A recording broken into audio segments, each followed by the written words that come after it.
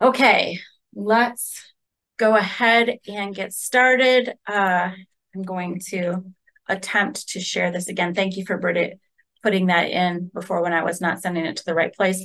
The link that I have just put in the chat for those who have just arrived is for a PDF version of the slides. Feel free to download it. It does have the links that we are going to uh, talk about. And then you can click on them. I'm not going to click on all of them. I might, who knows. Uh, I am Ruth Fraser Davis, and I'm the coordinator for Evergreen, Indiana. Britta Dorsey, who is our spectacular support and development administrator, is here. Uh, Hello. You see on your screen some contact information for both of us. Uh, whatever questions that you have about anything related to Evergreen, Indiana, do not ever hesitate to contact us in whatever your preferred mechanism is, uh, whether it be email, phone. Um, I do get sometimes Facebook messages and other LinkedIn messages I've gotten before. So, however, you need to connect with us uh, to get your questions answered to your concerns addressed, please do that. We're going to get started just with an overview of the resources that are available to you, talk about these always when we do any type of training. Uh, in this case, we are talking to those of you who have local admin uh, permissions. This is the annual refresher, which is a requirement to retain those permissions for another year. The reason that we have that requirement, um, we haven't always, but we, we found that there is so much power in that position that we wanted to make sure that people remembered what they could do because it's very easy. I know I personally forget the things that I don't practice and a lot of things that have to do with the local admin permission you don't do them all the time necessary necessarily. And so it is easy to just kind of forget. Uh, and so we wanted to make sure uh, to remind you of those things also to empower you to uh, make decisions. You are the people in your organization that have uh, power to change settings, to uh, apply permissions for other staff people, and to also do advanced management of patron accounts, um, and also to support your technical services department. Now, I recognize that um, I say your technical services department and all of those things, and uh, many of you are from libraries where you are all of those things. So first of all, thanks for doing that. Uh, second of all, that's a lot of work and I acknowledge it. Um, and third, please know that you're not alone in that. So the first resource on this list is, of course, the local administration training manual. And I, I think calling it that is a little bit, um, it doesn't give the full breadth of, of what uh, it does. It is a user manual. And um, so it's going to walk you through so many different tasks and places in the Evergreen client. Uh, Britta has done a fantastic job of, of um, creating an updated manual. This is to version 3.9, which is what we are using right now. We are going to be upgrading in January to 3.11, and there will be more update uh, updated content in here. So one thing I do want to point out for, and I'm going to make this a little bit bigger for your screen, is that this is a Google Doc, and one of the uh, nice um, features of Google Docs is the use of this outline um, view. And what that can allow you to do is to navigate through here pretty quickly. Uh, another thing that um, both Britta and I live, is the control F that is going to allow you to uh, search and find different terms. We'll see if it, no, it never does it this way. Anyway, I don't, I don't look for it this way anyway. Anyway, this way anyway. That's kind of a silly way to say that. So this leads me to, we have the policies and procedures page um, that you can link to directly from here. Also, uh, the address or the page to subscribe to the Evergreen updates list. Okay, I want to stop right there real quickly.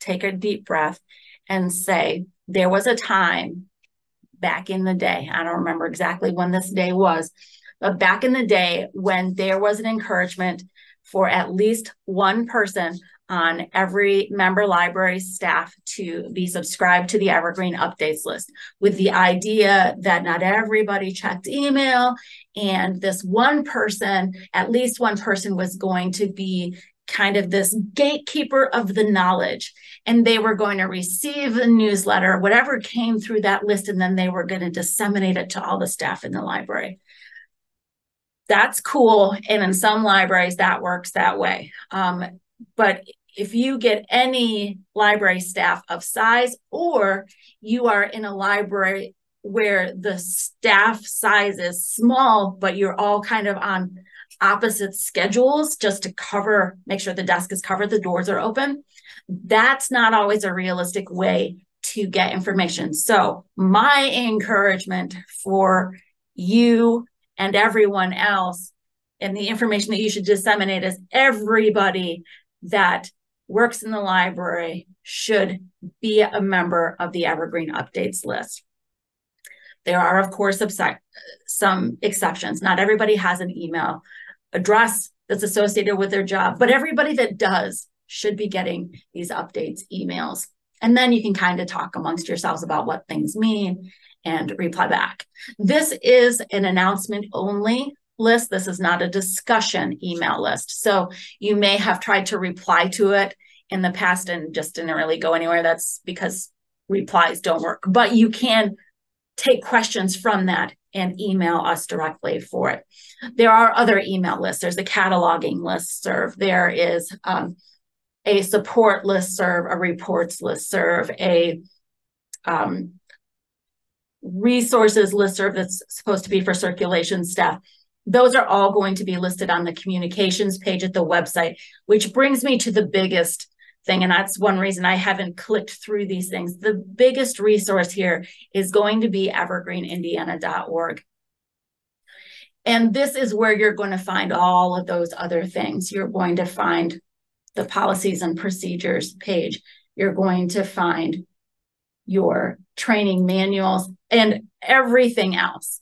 Um, if you do not make this part of your experience as a staff person um, at a member library for Evergreen, Indiana, I would encourage you to do that.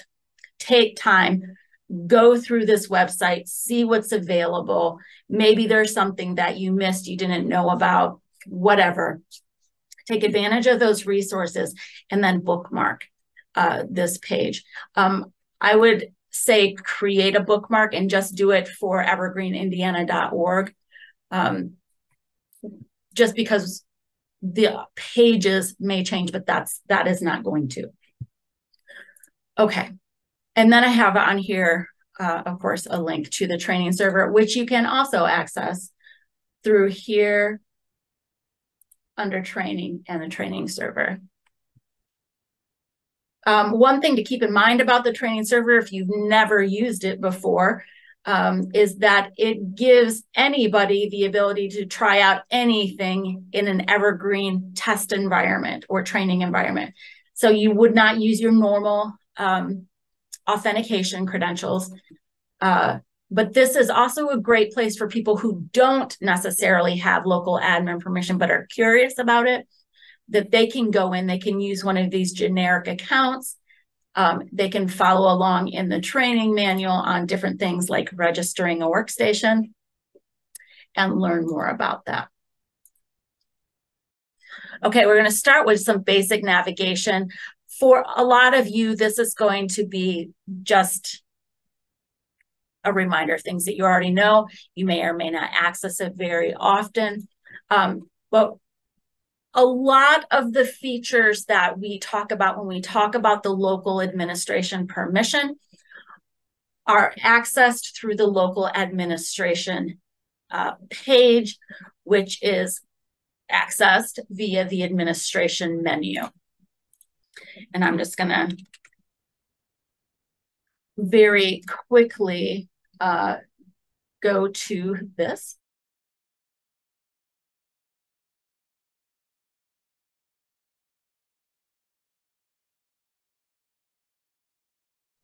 So we're going to go through administration. We're going to go to local administration. Now, it is important to remember, especially, and for those of you who are new to the local admin permission, to know that not all of these things here do require local administration permission.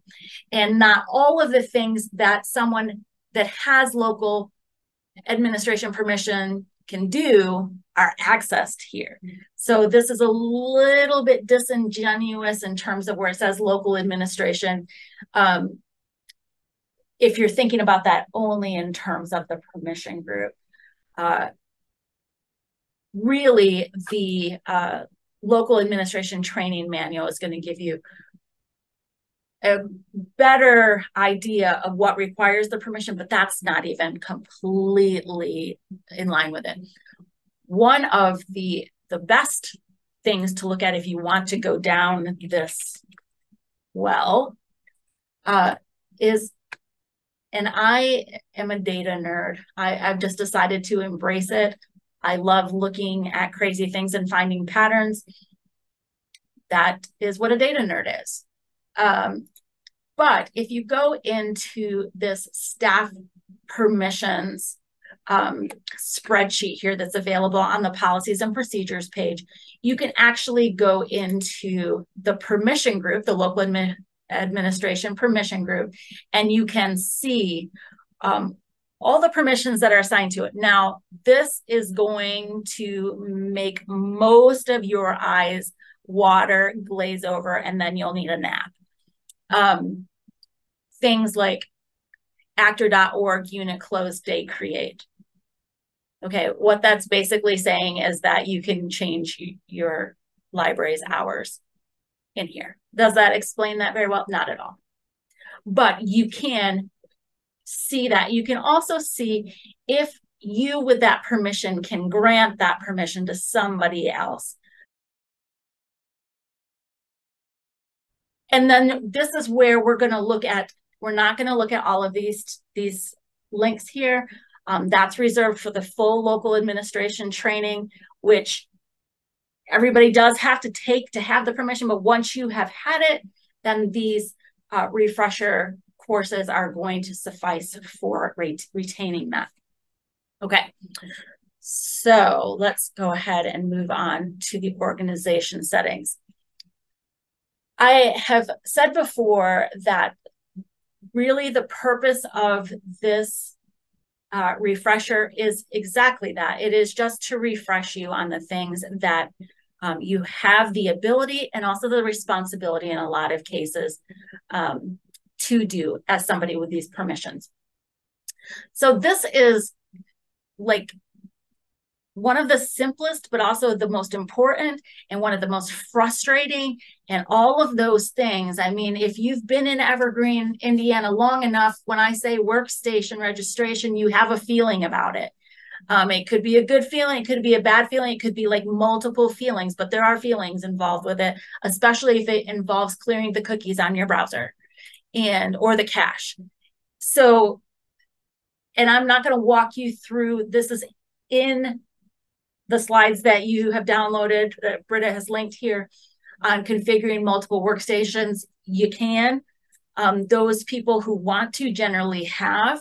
If you have questions about why that might be appropriate, if all of a sudden this is a light bulb moment for you, um, ask. We'll be glad to walk you through that.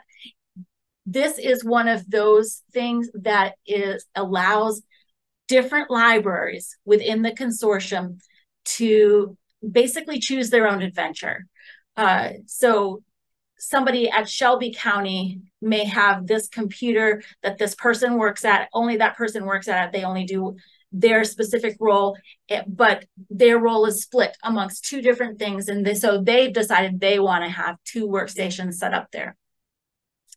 Or you may be at Hagerstown and you have uh, one computer workstation that multiple people use and they all use it in the same way. Think like a circulation desk. That could also have only one workstation, but multiple people using it. So there are a lot of ways that this functionality can be tailored for the environment that your library has. And we are always available to help you like walk through ideas for that or questions um, that you may have or something just has gone awry. Um, I've been noticing a little something in the browser. I think it's probably a Chrome update where it says that it's getting rid of my workstation, but then it doesn't. Maybe you've noticed the same thing just in the past couple days. But I also know the workaround, which is also problematic because sometimes you're working around something that just should be fixed. So, anyway, but you as local administrators, you are the people in your library that provide access to the Evergreen staff client for everybody else because only local admins, and there is now an exception to that, but I'm going to keep saying that until I get to the exception. Only local admins have the actual permission within the ILS to create a workstation, to register a workstation. And without a registered workstation, you cannot access the client. I am going to skip, skip through printer settings except to say I know that they are a beast. The other thing I'm going to say is they do not require local admin permission to do these things. Um, they just are located in the administration uh, menu and the workstation uh, place. Generally, and I, I think the reasoning was, generally speaking, because if you are someone with local admin permission, that's going to mean um, any number of a variety of things. You're going to be in an advanced position within your library organization. Um, you are likely going to either be the person or know the person that gets called upon to do more IT related things, more technologically um, related configurations, and all of that. And, and so those things are all located in here. You may be the one that's dealing with templates, uh, printer settings, installing Hatch, whatever. You may not be, but it is important to note that those things do happen in this workstation page. The other thing that I will say is acknowledging that printing can be beastly. I don't, I do not want to sugarcoat the fact that it can be just terrible uh, there, if you get to a point where you are stuck, put in a help desk ticket. I'm just going to fine point that, put in a help desk ticket. We may or may not be able to help you um, in terms of getting it exactly dialed in. We may be able to give you recommendations. We may be able to give recommendations to the person that you're working with. Um, or there might be something that we need to even fix on on our part so uh, this is one of those things where it's very easy to get stuck in the mud spinning your tires and so i would encourage you uh, if you do get stuck just reach out for help immediately and put in a help desk ticket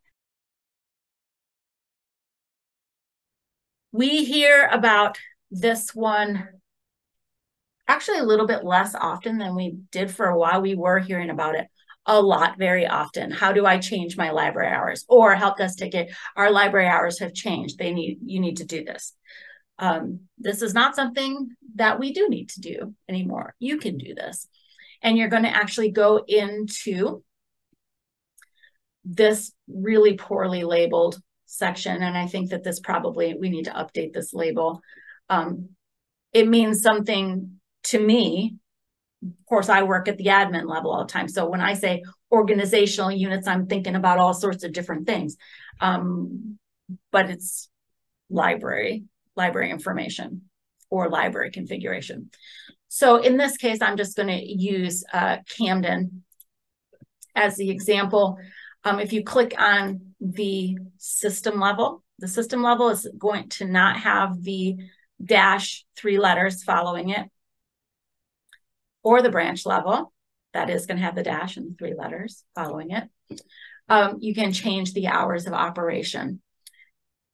I believe you may also be able to change the addresses. You'll see here there's none set up here. It doesn't have to be necessarily.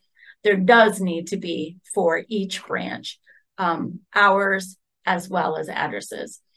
Um, but you can change those here. So I'm going to also then pick on um, oh Hussey Mayfield because Hussey Mayfield has multiple branches. And so you can see that there is their their main mailing, and this is going to be at Zionsville, but then they also have a bookmobile, and I'm going to actually go here to their hours. And so what this allows you to do is that for each of these different branches, uh, these can be updated, and this is going to be their new Whitestown branch. So this hasn't been saved yet because it's not ready for this to go live. So insider baseball. So if you find that uh, in the OPAC, um, and let me see if I can pop through here real quick, and I'm sure I'll just click on that.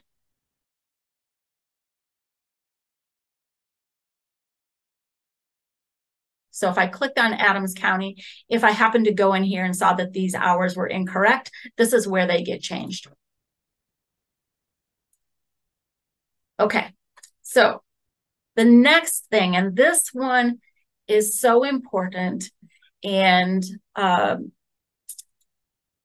the reasons why um, are the patrons on the other side of your circulation desk. If you do not put in closed dates, what happens is that then you have the ability for um, items to become due on days when you're not open.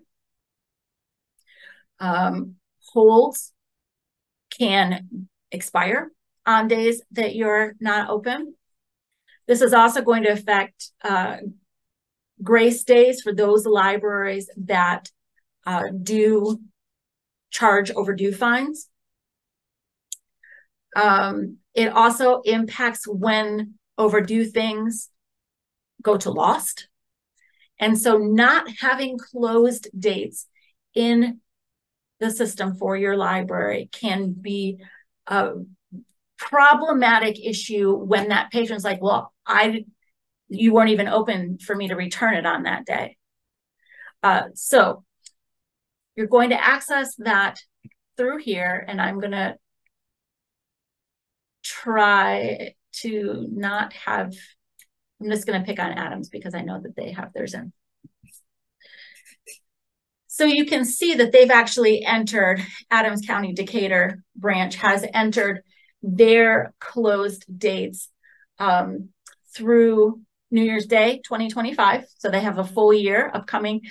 Generally, the best time to do this um, is first of all, there are some standard ones that may actually be in your library's bylaws, and then you can just go ahead and, and do that. All admins in a library see closed dates, correct? Um, I'm not sure that I understand. Everybody should be able to see closed dates um, but everybody with local admin can actually add closings. Yes, absolutely. You can all see them and you could you could edit them. Do we have to put in dates like if we aren't usually open? Okay, so that's a great question. Uh, I'm going to go ahead and um, utilize the browser functionality. And I'm going to go back into these organizational units and I am going to uh, Kirsten, I think that we have your dates set correctly, so let's take a look. So you can see here that uh, Pearson is closed on Sundays. So you would not have to go through and add under your close dates every Sunday. That's going to be respected by um, the close as a close date. But you can see here that uh, Thanksgiving does not fall on a Sunday, and it's on a day that they would normally be open. And so they would go ahead and add a close dates. You just put the dates in on a day that you would normally be open, but you're closed because of a holiday or a special occurrence or something like that. The other thing that you can do here, and I'm going to do this for the consortial collection because I can get away from it, get away with it, not messing anybody up. So you'll see here, we do not actually have closed dates in ours. Um, I think that we might have, but for the collection, now let's say we had a freak snowstorm that was planned for tomorrow. We know that it's going to happen. I can, I'm just obviously just making something up. So when you go to enter a closed date, it is going to automatically every single time. I'm going to do this again so that you can see what happened. It's going to have a little red thing down here is called a toast message. It says possible emergency closing. And then you're going to get a blue, like little warning ish that says possible emergency closing. And the reason that it does that is because it defaults to today.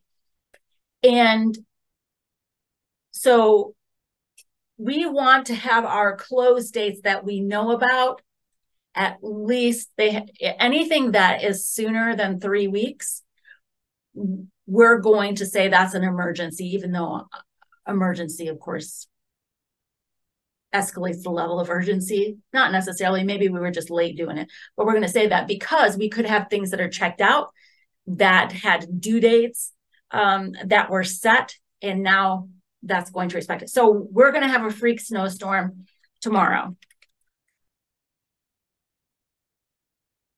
Let me go ahead and set my date as tomorrow. Now I know if I had things checked out, there's going to be things possibly that are due. The reason we don't have any set in here is because we don't circulate things at the consortial collection level. That's just um, to allow for the collection for high holds. So I'm going to go ahead and uh, click on emergency. And then I'm going to also click on process immediately. What that's going to do is it's going to, first of all, acknowledge that I have to get that in there. Uh, and then the process immediately is going to begin resetting due dates, adding grace periods, resetting holds to accommodate for uh, that time. Now, because we don't circulate anything, nothing shows up here. But now you can see that I have this, this um, close date. Now, let's say that I want to close for Christmas. That is not going to be an emergency. Um, even though it still says possibly emergency. And, and I know that when there's like a special color there, it's like, oh, I did something wrong. Oh, I need to do something. You don't. You, all it's saying is, think about this. Is this further away than three weeks or four weeks if you want. It's never going to hurt to call something an emergency in this case when maybe it isn't. You get to decide that. As long as it's further out than three weeks. If it's less than three weeks from now, mark it as an emergency for sure and process it immediately. So in this case, we're to we're to close on Christmas since it's gonna be here. So the other thing that we can do is if you are in a multi-branch system, I'll add another one, and I'm gonna change this. Never works the way that I want it to. So now I'm at the system level. So um, I see April's in here uh, from Fulton County, and so I'm going to, this would be something that you could do for Fulton County. It has three branches. So I'm going to schedule as close for Boxing Day.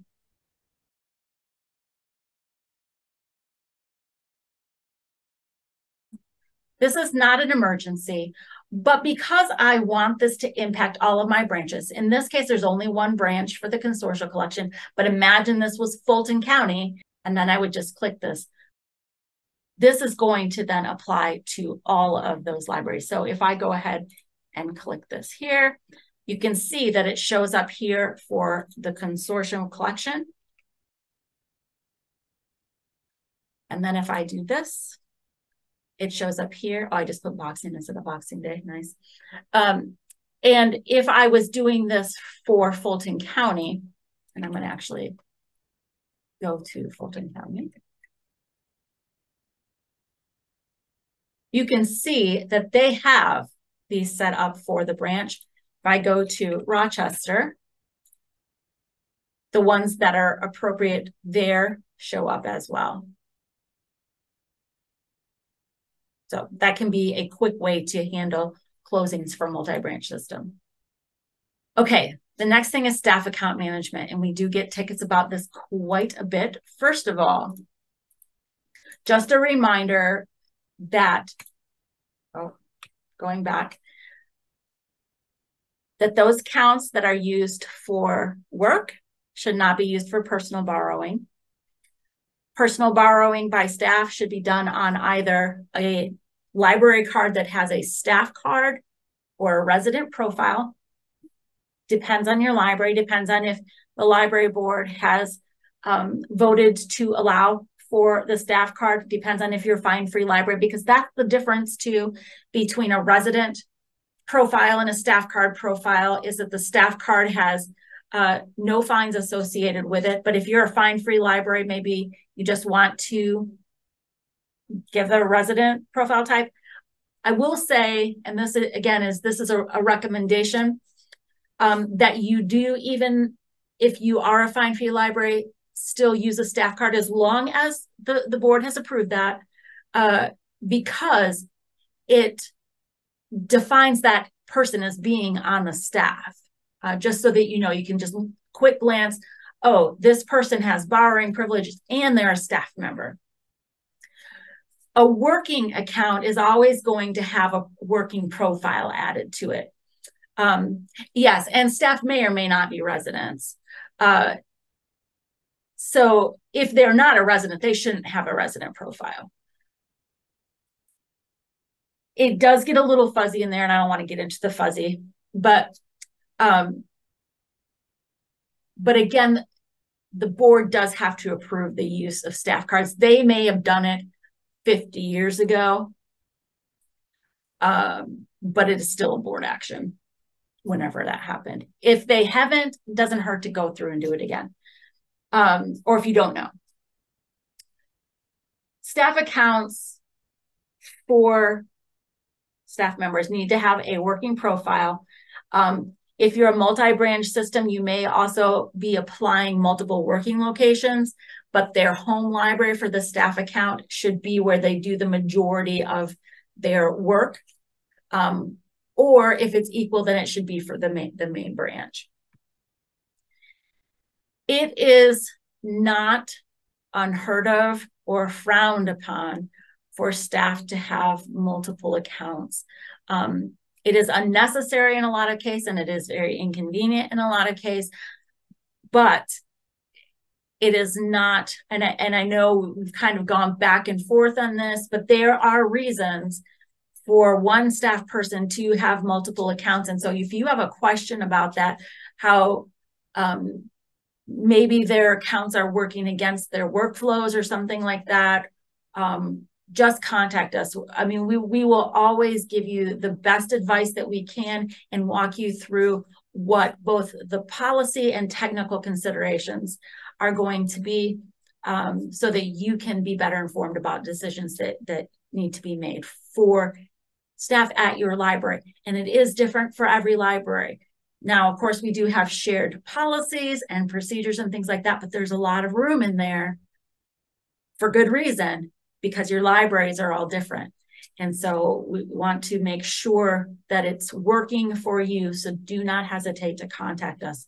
Um, part of our support role is to give you well thought out um, recommendations and to work through problems with you. Okay, talk about permissions. I've already talked a little bit about the permissions guide. Um, if you haven't looked at it in a while, I do recommend that you just go back and check both the staff profile matrix and the staff profile permissions guide. Um, one thing that it does do is it re will remind you and others what the training requirements are and recommendations and what different permission groups can do as well when we are assigning uh, permission groups to a new staff working account, and this is something that local admins do, they create staff accounts for um, their coworkers, essentially the people, whether they supervise them or not. But we use the principle of least privilege, meaning that the permission group that can give you all the tools that you need to do your job, but not all the tools that are available just for the heck of it, um, is going to be the appropriate one. It minimizes liability for both the staff person and the library. And people who are working should only have the permission to do the things that they need to do for their job we don't want people to um, wander into tasks that they're not trained for, that are inappropriate to their roles in the library, um, or any of those things. And so it really um, is for the sake of, I'm going to take a break in what I'm saying and answer Ann's question. Um, will we have two separate cards, then one for work and one for us to check out books? Yes. So you're not going to actually have um, a card for work. You'll have a card, a personal borrowing card for yourself, and then you'll have a work account. But you will be getting a library card as well. Uh, and that's what you'll use to borrow things um, for your own self. Now, I'm going to throw a little wrench in that because there are also staff members in libraries who have um, their personal library card, but they also then have some type of institutional card that they may use for programming. Um, they may, well, programming is, is the big one, uh, but the programming is a huge bucket of, of ideas, um, special collections, special tasks that they have. And so there they may have a library card. They may also have an additional staff account. So again, if if you are in a place where you don't know what needs to be done in terms of accounts and cards for a specific person, for your own self, whatever, please contact us because the scenarios that we can come up with are pretty limitless and finding the right nuance within the policy and all of that. Um, can be difficult and can be intimidating, especially on your own if you've not done it. Um, and we're, we're happy to um, do that with you. I will, okay, I'm going to go back to what I was saying. I was the person that wanted all of the permissions to try everything, but there are a couple things to consider. First of all, this is a production environment, meaning that when I do something, it impacts the server that you are also using when you do. And so being conscientious about um, what I know how to do uh, so that I don't do something that messes it up for you is amazing. I'd rather not mess it up for you. The other part of that is, is that we are stewards of our patrons' information, whether that be their address, their phone number, the things that they check out, whatever. We become better stewards as we become more experienced. We learn more about the software, where its vulnerabilities are, where our human vulnerabilities are. And so making sure that uh, the people who have the most access also have the most experience and the most understanding of how to um, be appropriate stewards of that information is very important. I'm not going to go through how to make these accounts. This is, first of all, of course, in the slide deck here. It is in the um, local administration training manual. It's exactly like creating a patron account, but you're not going to be using cards. Um, and you're going to be doing a few additional things, different uh, considerations. If you have never created a staff working account, um, in this you come upon it, please walk through the steps. Um, another feature that I love, it's been in production for a fair number of years now, um, is, and it has definitely cut down on the need to have multiple staff accounts, is the ability to have a secondary permission group added. Um, there are people in here, and I, I know several of you who have uh, a Cat 1 permission group and then a local administration permission group. Some of you have additional um, even on top of that. And that can make work much more streamlined uh, because you're just logging in one time and you have the permissions to do the things that you need to do. It's much easier, in my opinion, to remember one login, but perhaps have multiple workstations set up for different defaults. So I'm going to actually look up, first of all, my own account here.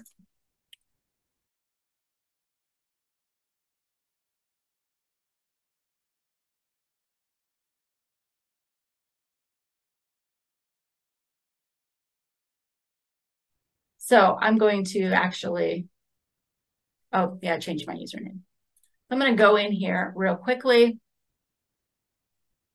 and show you. So my main permission group here is cat one. Uh, but if we get into the secondary permission groups of all these different things, I also have some other permissions and it's a weird, this, this is like the Frankenstein of staff accounts, if ever there was one.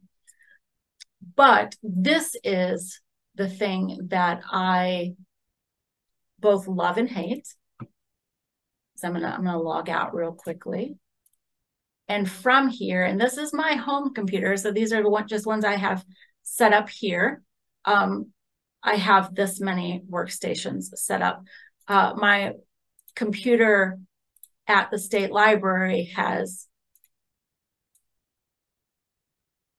uh, like 40. Okay, so this is the thing that I wanted to say, the exception to this. Um, only local admins can uh, register workstations. So we do have a new modular permission group.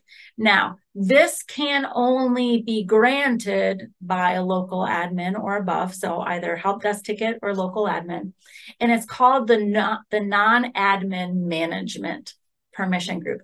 And it only has two permissions in it. Um, this would generally be appropriate to add to a Circ 1 who has their own individual account. If you have a shared Circ 1 account in your library, this would be inappropriate to add to it because we want the person that has this permission to have complete understanding of what these two permissions do because they are powerful. Remember, I said that registering a workstation, while it is a simple task to do, is the key to being able to access the Evergreen database, the client from any computer connected to the internet. So once you give somebody this permission, once you have this permission, you have the ability to grant access. Now, of course, they still have to have a username and password, but if they have that, if they can also register a workstation, they can go home. I said I was working from home right now. I have a registered workstation on this computer. They can go in and they can get access to it anywhere. So we only want to apply this to people who understand, who are trustworthy, who have signed their code of ethics and understand what it means. Um, and then they also have the permission to merge users, keeping in mind that merging users is something that can only be done outside of this modular permission group by local admins, and it can only be done for local accounts. If you want to merge accounts from one system and another and another system, you're going to need to, of course, fill out the uh, merge request form that's available on the evergreenindiana.org website. Okay. This never happens, and so I don't even know why we're talking about it. But every now and again, we hear rumors of somebody leaving a, la- a, a library. Here's what you do if they used a shared account, Circ 1, Circ 2, CAT 2, these things exist. We know that they do. The password needs to be updated on all of those shared accounts. If they did not use a shared account, well, or if they did, but they also had their own individual account, the password needs to be updated on that account and that uh, working account that belonged to that person needs to be expired. We do not delete or merge working accounts. They have implications for things that are in the database that we want to be able, we want to be able to have the right data connected to the right things, whether it be transactions or bibliographic records or whatever. And then if they have a personal card, that staff card, um, we're going to transition it to whatever the appropriate um, account type that is. Now, I do want to remind you that if it needs to be um, transitioned to a non-resident card, they have to pay a non-resident fee. So in those cases, if they have a personal account, but they don't fit into any of the uh, profile types, then they're just going to have their account uh, expired even if they have things that are checked out, remember, because they can still return those things with an expired account. And then if they want to pay for a non-resident card or get a PLAC card or something like that, they can do that. Um, or if there are reciprocal borrowing, reciprocal borrowing agreements um, in force, whatever. Are there any questions about what to do with a staff account when staff leave? Uh, and I will say too, um, when it says update password, what I do for this, and this is what whenever I get a help desk ticket or an email, and Britta may do exactly the same thing or something subtly different um, about somebody leaving and needing to deactivate their account. What I do is I press the reset pin button. I go to the expiration date and I click today and go the day before today and I press save and that immediately expires the account and it uh, resets the password. And I don't know what the password is either. I don't care because nobody's going to be accessing that through the login screen anymore. Okay, I'm going to go on with just a few more things here. Um, I'm not Again, going to go through merging patron accounts. I already just said the things I wanted to say. Just some additional interfaces. Um, this is a very specific thing. This means that when the hold was placed by a patron, there was something that could fulfill it.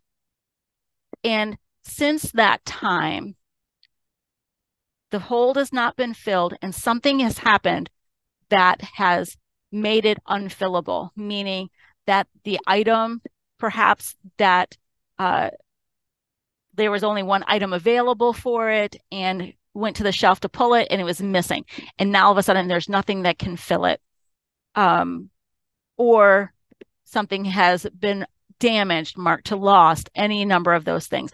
And so what this interface does then is say, this hold has been placed, it is hopeless and then that is meant to prompt you or whoever fills this to action. This is not an exclusively local admin thing, but it is located here in the local administration menu and something to keep an eye on and know that it exists. The next thing is patrons with negative balance. Again, this is a kind of a canned report, and the thing that you want to see here is absolutely nothing. Uh, and by and large, when you go here, you're going to find nothing. If there is a patron here with negative balances, then again, that's going to be a reminder to spur you to some type of action. Maybe some billing needs to be added. Maybe there um, was some um, idiosyncrasy going on in between a an automatic uh, bill forgiveness and a counter bill forgiveness and all of that. So this is just going to spur you to action. Almost always, this is going to have nothing in it, and that's good. Updated interfaces. We're going to talk about the library settings editor um, right now. But this is the last time, if you go in to do these things, that you will have to use our current interface because it's being updated. So these three places are being updated in the next version of Evergreen, Library Settings Editor, the cash reports, and the statistical categories. Library Settings Editor and the statistical categories, you do need to have local um, administration permission to utilize. And currently and in the future, you're going to access them right here. So I'm going to go to the current library settings editor, and I'm going to also bring up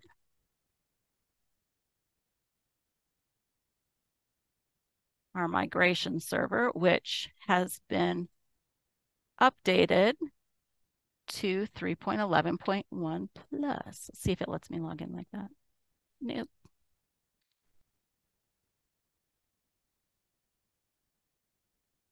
All right, so this is what the library settings editor looks like right now. So this is what is going to look like. I'm going to go ahead and make this bigger as well. I'm going to go under local administration and we're going to go to library settings editor and this is what the new one looks like. It's going to take just a moment to load. There are still a ton of them, but now I can do the same search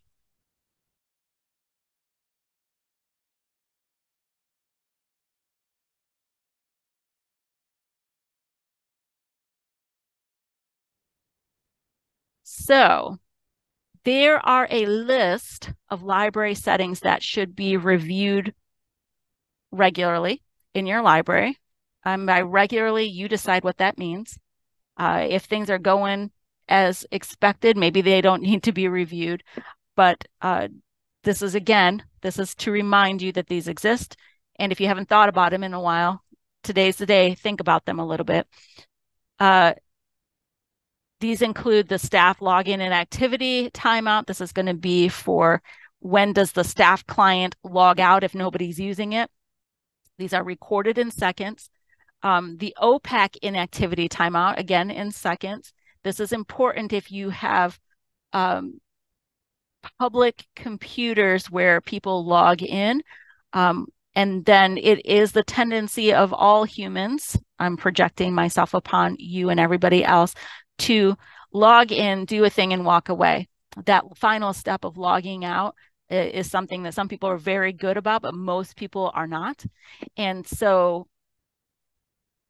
to accommodate for that, we want OPAC inactivity timeout so that the next patron that walks up to that catalog is not automatically looking at the information, the transactional um, history, those types of things for the patron that walked away. So you can just put in there timeout, or these are the actual uh, names of the setting. That so you could actually just copy paste that into this to avoid the slow typing search. Just not the technical term, but nonetheless. Um, and to set this in. Now you'll see here for the consortial collection that's here at the State Library for our high holds collection, we don't have a staff login activity timeout because we work in a closed office environment. Uh, there's never public around here. We none of us share computer terminals or anything like that.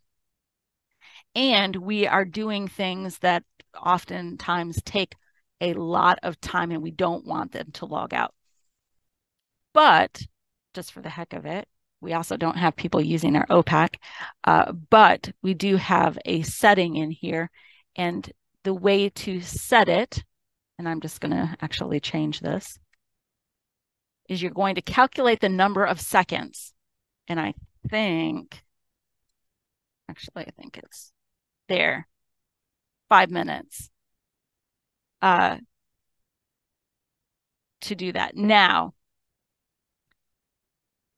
maybe you have another setup in your library. Say you don't have any designated um, public catalogs. You just t- say people, hey, we have these computers. You use it for computing, and you can go to the OPAC there and, and do things like that. And you also have some PC management software that is going to automatically time patrons out, or you're using deep freeze that also is going to reset a whole session. Then this OPAC inactivity timeout is not as important. So it isn't important for you and your colleagues within your library to think about okay, what is the environment in which our patrons are accessing the OPAC? What is the necessary time consideration here? Is there one? Um, and so consider that. So consider this your reminder. The most important thing in this list, however, is the last one this sending email address for patron notices. There is a default in here. Um, any patron emails that are sent um, as well as print notices, I believe, uh, say evergreen at evergreen.lib.in.us. That is an actual email, but it is to a place I don't know who has access to it and nobody checks it. And we do not respond to your patrons as if we can avoid it in any possible way. We always send them to you um, as, as their library service provider. So this needs to be updated. And that's, and you can see here, and I just changed, well, I don't know why I changed that to Petersburg because we again don't send these out. So I could put in here, um, not sure that I've made that email address yet, but and so if we were sending out notifications, then it would come from there. Please make, make sure that this is updated for your library. Um, I'm not going to put anybody on the spot, but this is the one that by the end of today, I would challenge you to make sure that this is updated correctly. The next thing that is updated, uh, you may or may not use the cash reports um, in the interface. Um, uh, it is a nice update that has been added. So you can see what it, it looked like. Oh, take that back. I'll just show you here. This is what our cash reports look like right now, and I'm going to change this to a library that possibly has cash reports. Maybe I'll do this. Okay. So you can see here that this is what it looks like. It's not a very user-friendly thing. Um, and this is what the new cash reports are going to look like. We have uh, the, these new cash reports. So this can be very helpful. And you can see it's now split into a tab. Works the same, looks way better it does have the new Angular features. You can add some more columns. You can also download things a little bit easier. Then we have the statistical category editor. Um, again, this is not something that gets used very often, but it gets used very purposefully when it does get used. You can see what it looks like right now, which it does work. Um, it is a bit of a pain to get in here. It's a little bit out of order, in my opinion, since you have the things that have been created. If you want to create something new, it's up top here. This is what it's going to look like in the new interfaces. There's going to be, there are two separate links, one for item statistical categories, and you can add a new StatCat here, and then you can edit entries over here. Of course, that one didn't have any entries, but um, and of course I closed my whole MIG there. Yeah. And then we also have uh, for patrons. Um, and so if I wanted to add a new library system in here, uh, change that. You can see this also has the updated um, organizational unit library selector called an org unit selector, but trying to change the terminology to library selector. I'm not going to go through how to submit a help desk ticket other than just a reminder of what I hope um, can become part of your mental triage when you're deciding to uh, put in a help desk ticket or not. Uh, keeping in mind that there's a point to where you don't have to do any mental triage. You just have to say, I don't know how to do something, something is broken, and just submit a ticket. And that is perfectly appropriate. You can find uh, the, in my opinion, again, the easiest way to access this is if you're in the client, there's a link right here. There's also um, a link right here.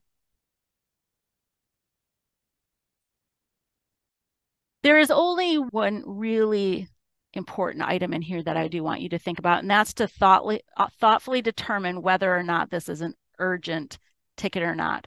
When we are talking about urgent um, in Evergreen Indiana administration, we're talking about can you access the client? And is it doing what it is supposed to do? If you're trying to save things, are they saving?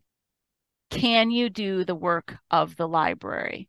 If you cannot do the work of the library using the client, then that is urgent. If something is not as expected or um, you have a question, it's still going to feel urgent, um, but that would not be considered urgent for us. And this is why. When somebody selects that this request is urgent, that doesn't just send emails to all of us. And I will tell you, we're always monitoring the help desk. So all everything is important that comes in there. there it's not, is this important or unimportant? It is important. But when it's urgent, that also sends uh, calls out through our emergency line, sends text to advance support, and it does it all hours of the day. So if you are, we'll say, cataloging at 7.30 at night and there's no cover art, and you put that in for the thing, and um, that is marked as urgent, then that is texting multiple people with that help desk ticket as opposed to putting it in the inbox to be dealt with uh, when they come back into the office the next day. So just thoughtfully consider that. Um, if you don't know the answer, go ahead and select that it's urgent um, because again, it did feel urgent. Have a grand rest of your day. It's sunny, even if it's a little chilly. It's good to see you. Bye, everyone. Bye.